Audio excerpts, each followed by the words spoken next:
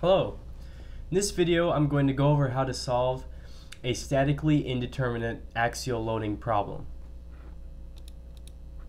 Okay, as you can see, this problem is a composite problem with a gap.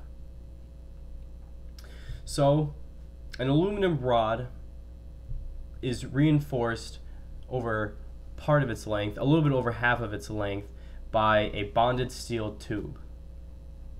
Before any loads are applied, there is a 0.4 millimeter gap between the right end and the right support, as well as there being a left support. But there's this 0.4 millimeter gap. Um, here I have the geometry of it. The outer material is steel, inner is aluminum. These are Young's moduli. The outer material is 100 millimeters diameter, inner, which is the aluminum, 50 millimeters. I have the cross-sectional areas calculated. And the things that we're looking to find are the support reactions at each end, the normal stress in section 1, and the normal strain in the steel tube in section 2. So first things first, let's bring up the program and let's put in our information.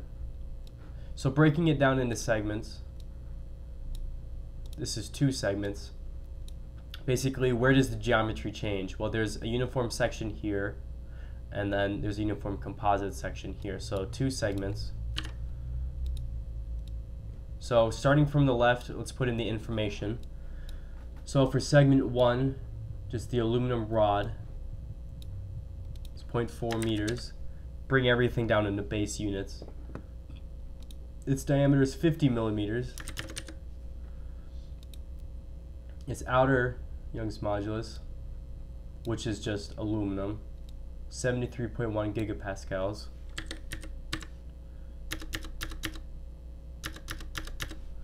Okay, that's 10 to the ninth.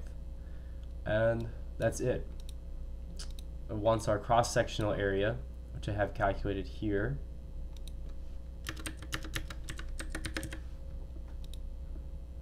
Okay, and segment two, the composite segment. So let's select composite. Let's put in the information. So it's 0.8 meters long. Outer diameter is 100 millimeters. So that's 1.1 meter. Inner diameter 50 millimeters. Outer material is steel, so 200 times 10 to the ninth.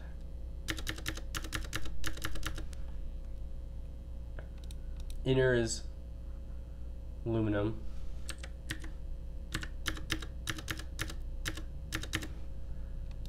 Okay. The outer area,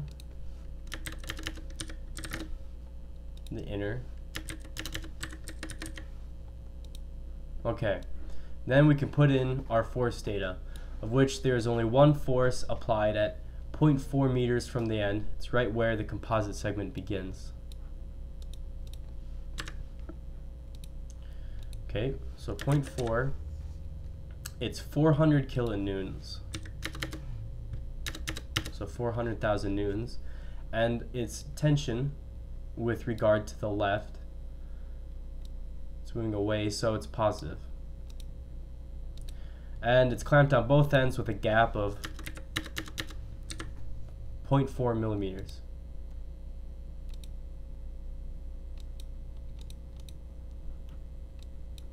Okay, let's draw this. Okay, so to solve this problem as an indeterminate problem, there's a three-step process. First step, remove the, remove the right clamp and solve for the net elongation of the shaft as just a normal determinate problem. Step two, also remove the, the clamp at the right, but also remove all of the forces and put a one unit force in tension, so it's positive, at the right end. Then you solve for the net elongation a second time. With these two net elongations, you can then calculate, and the program will do it itself, but I will also show you in one of the slides uh, what the force, reactionary force of the right clamp actually is. And with that information, you can then solve the entire shaft as a determinate problem itself and we will be able to find all of the answers that we wanted. so let's go ahead and do this. So first things first, it wants our section 2 elongation. The clamp removed at the right, there's no force going on in this segment, so elongation is 0. So we can move on.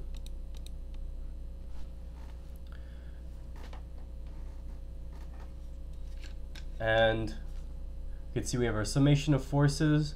Then I have the equations written out. I have stress calculated, but we are only worried about net elongation for the moment. So we can just jump down straight for the elongation value. Should be fairly simple. Okay. So that's the net elongation for all of step one, and we can move on to step two, which wants us to analyze it with our unit force. As we can see, I have it written out here. We have our summation of forces, and then I have on the left set of equations, I have calculations for the outer material, steel, and on the right I have the calculations for the inner aluminum. Again, stress does not matter, but I have it there anyway.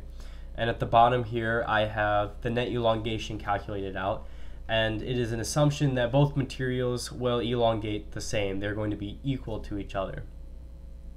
So really it's just find um, the shared amount of force that either the inner material takes up or the outer reacts and with either of those you can solve for the net elongation of you can solve for the elongation of that segment. So we can go ahead and put in this value.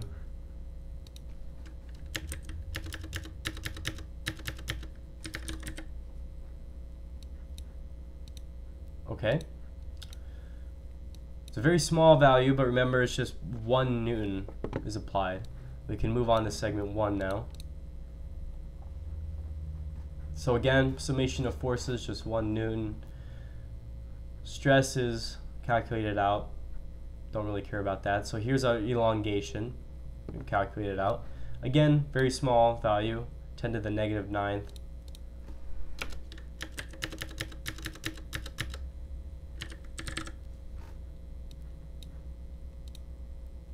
Okay, and now that that's done, the program automatically uses these two net elongations. It calculates what the net elongation is for step two, which I have written out here. And it uses those two to find the force at the right clamp, which is negative 210,000, nearly 211,000 newtons. And I'll show you how that goes down in my slide, which I have as step three, and then the final solution as step four. The program is just three steps. But this is the equation you use. It's basically the net elongation, delta 1, minus the gap distance, all divided by elongation of step 2. And if you're doing a program, a problem with no gap, then you can just put that in as 0, and it still works fine. And this force at the right is actually one of the answers we're looking for. So I have it highlighted in yellow. And then you can go ahead, apply that to the shaft using your normal sign convention. So for the final process, we apply that force from the right clamp and we solve it as a determinate problem and we can get all of our final answers that are still left. So beginning with analyzing segment 2, again as before I have it broken down this time we actually are going to want to know what the stress values are. So let's go ahead and start putting this in. So the outer force, PO42,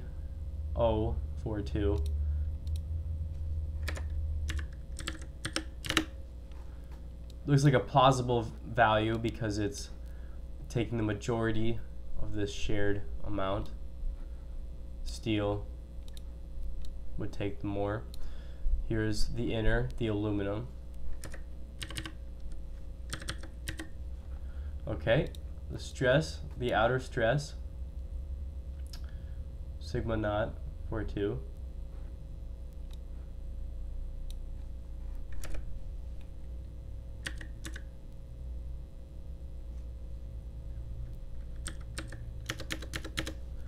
Okay, inner stress.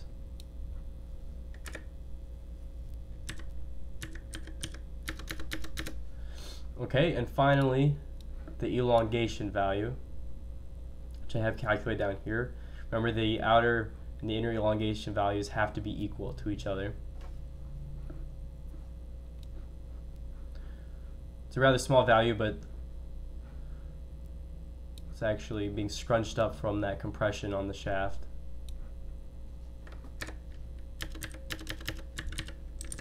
Which makes sense conceptually. You can check these values. Okay, it accepts all of them. Then we can move on to analyzing our segment one, the final time. And right away when you do your summation of forces, you can find the reaction at the left, which is the reaction of the left clamp and part of one of the answers that we are looking at, looking for.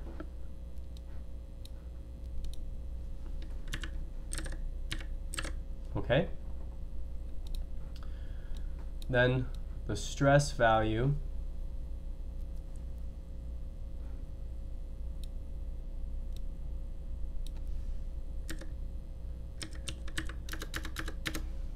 the elongation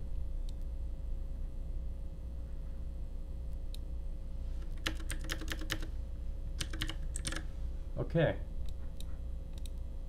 solution complete and it calculates the net elongation for you. Notice that it is still 0.4 millimeters. That's as far as the shaft is going to elongate. And one thing I forgot to mention is that one of the answers we were looking for, which the program itself doesn't ask for, is the strain.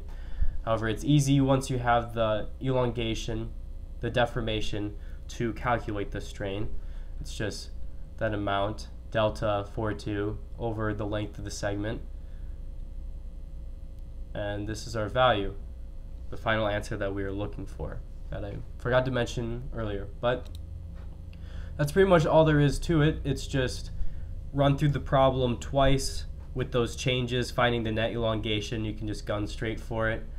And then with those two, you can find the reaction of the clamp. And when you have that, you can just do it as a normal determinant problem